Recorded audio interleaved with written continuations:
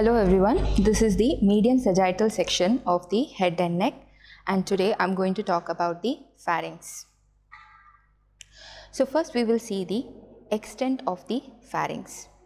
So superiorly pharynx extends from the base of the skull and here you can see the bones forming the superior boundary of the pharynx.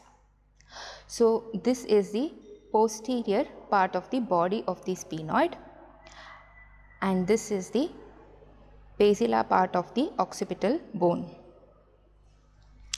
Then inferiorly it is extended to the lower border of the cricoid cartilage which is present at the level of 6th cervical vertebra. Anteriorly the pharynx communicates with the nasal cavity, with the oral cavity and the larynx. Posteriorly, the pharynx, it glides over the cervical vertebra through this prevertebral fascia. Now we will see the three parts of the pharynx that is the nasopharynx, oropharynx and the laryngopharynx.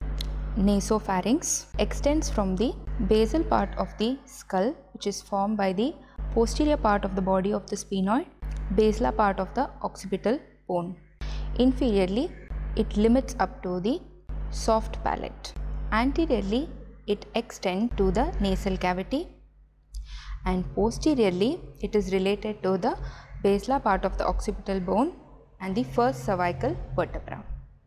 Now we will see the features of the lateral wall of the nasopharynx. As you can see, this is the opening for the pharyngeal end of the auditory tube. From here, pharynx communicates with the middle ear. Above this opening, you can see an elevation called as tubal elevation. And underneath the mucous membrane of this, you can see the tubal tonsil.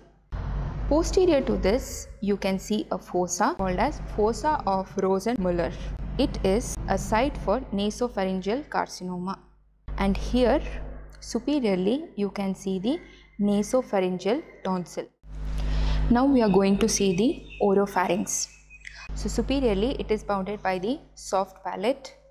Inferiorly, by the upper border of the epiglottis. This is at the level of the third cervical vertebra.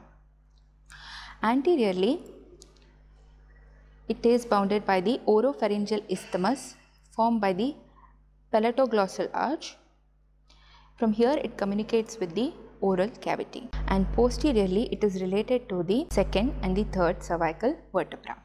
Now let's see the features of the oropharynx. As we have already seen here, this is the palatoglossal arch. And then here we have the palatopharyngeal arch. And between these two we have the tonsillar fossa here. And inside this tonsillar fossa there is palatine tonsil lodged and the part behind the oropharyngeal isthmus that is the posterior one third of the tongue and here we have the lingual tonsil.